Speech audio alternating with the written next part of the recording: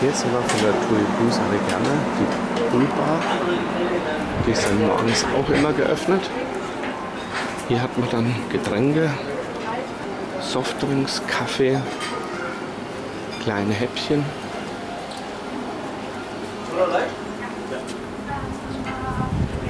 Mmh, super schön.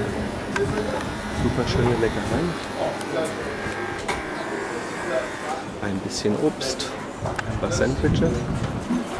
Traumhaft schön. Gefällt mir sehr gut.